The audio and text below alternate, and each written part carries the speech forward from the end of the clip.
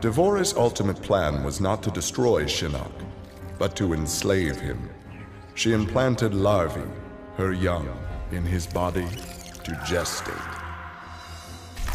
Having consumed the godlike power of their immortal host, D'Vorah's offspring were unlike any Kytinn ever born. As they matured, they spread like locusts throughout the realms.